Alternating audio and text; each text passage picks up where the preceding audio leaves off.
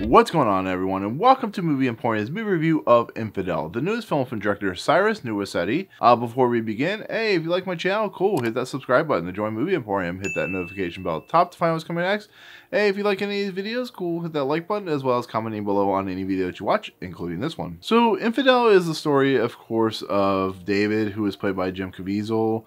Um, he is a guy that has a very true faith in himself. He writes a blog that's very popular, and he's offered the chance to go to Cairo at the behest of his wife to basically talk about his faith and stuff like that. And he makes the decision to basically have a stance on his religion because why not? You know, whatever what you truly believe is something that you should truly try to put onto the you know the world, try to represent yourself and he ends up getting kidnapped by the Hezbollah. And we meet this character who's played by Hal Ozsan, who plays Ramzi, and he basically says, you know, you're uh, you're a spy, you're an agent of the government. And this whole movie it basically represents the whole idea of you know political uh, espionage and corruption through like certain types of scenarios. And then we have his wife, who is Elizabeth, who put, is played by Claudia Karvan, and she is a woman who works for the CIA, and she's very she she is actually not very religious so the whole aspect of her and her husband is a really kind of interesting idea.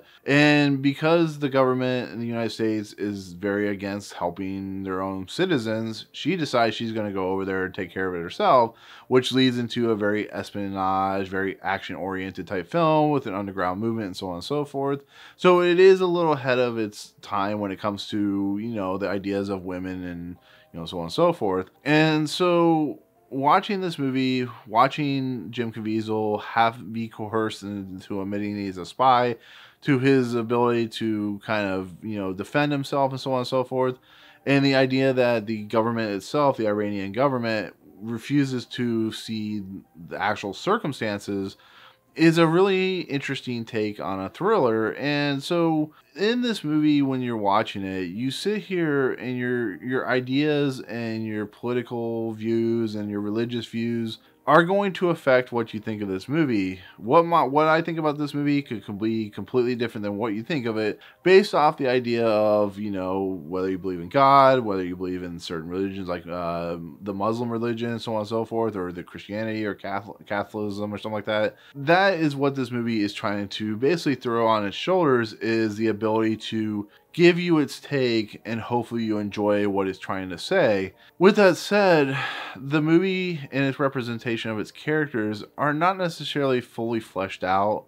Uh, Hal Ozsan, who plays like, like a, a, Scottish guy, like I said, Ramses is his name, he feels a little one note. He feels like a bad guy who has some underlying feeling to him, and maybe he has like a, a brotherly love for the, the character, but as they say, it's all business and stuff like that. So I don't really feel like his character is well represented. And it's the same thing with the Javid character, who is a friend of the David character and the Elizabeth character in the beginning of the movie. His his story arc is so strange and you know what they end up doing with his character is so weird and it doesn't really kind of flesh it out very well so the, the bad guys in this movie are a little one note and a little goofy and just their turns and twists just, it just doesn't feel very well represented I think when they're with Jim Caviezel, because Jim Caviezel is such a, a, a good actor, I think he's able to lift the material up. But just I don't think the script is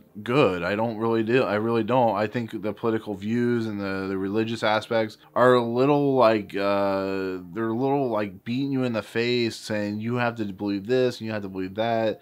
So it's not like it's a bad movie because, like I said, you know, with the Elizabeth character, with the, the way she is doing things, I think it's interesting to watch her character, and it does have really powerful moments. But I just think overall, I think when you're dealing with like the action, you're dealing with the espionage, and you're dealing with the weirdness of the thriller, I just think the movie doesn't land. I don't think it sticks its landing. I think it's a little too convenient how things play out, how characters find characters, how situations happen.